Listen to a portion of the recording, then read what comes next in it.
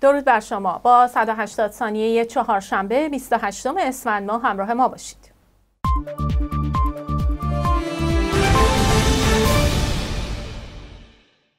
بر اساس آمار رسمی که امروز 28 اسفند از سوی وزارت بهداشت ایران اعلام شد با درگذشت 147 نفر دیگر در ایران به علت ویروس کرونا جمع کل آمار رسمی قربانیان به 1135 نفر رسیده علیرضا رئیسی معاون وزارت بهداشت ایران همچنین گفته طی یک روز گذشته 1192 مبتلای جدید به کرونا شناسایی شده و بر این اساس شمار مبتلایان به 17361 تن رسیده است.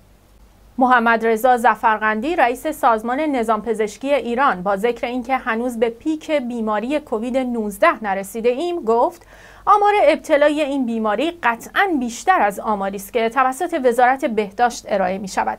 او افزود بعضی مسئولین اعلام کردند به پیک این بیماری رسیده ایم ولی این گفته صحیح نیست. ایرج حریرچی معاون وزیر بهداشت ایران نیز از ابتلای 43 ایرانی در هر ساعت خبر داد. وزیر بهداشت ترکیه اعلام کرد امروز چهارشنبه اولین مورد مرگ از طریق کرونا در کشور ثبت شد. وی همچنین اعلام کرد شمار مبتلایان در این کشور نسبت به روز گذشته بیش از دو برابر شده و به 98 مورد رسیده است.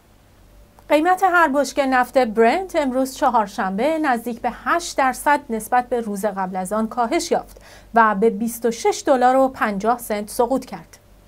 تحقیقات دانشگاه جانز هاپکینز آمریکا نشان می‌دهد شمار مبتلایان قطعی به کرونا در جهان از 200 هزار نفر گذشته است. این دانشگاه با انتشار گزارشی می‌گوید تاکنون بیش از 8 هزار نفر از ویروس کرونا جان باختند. دانالد ترامپ رئیس جمهوری آمریکا و جاستین ترودو نخست وزیر کانادا توافق کردند که برای مقابله با شیوع ویروس کرونا مرز دو کشور را برای سفرهای غیر ضروری ببندند.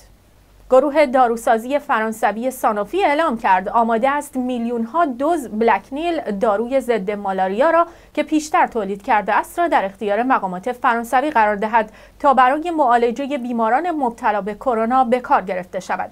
این گروه داروسازی گفته است که نتایج این دارو برای معالجه بیماران مبتلا به ویروس کرونا امیدوار کننده و نوید بخش بوده است.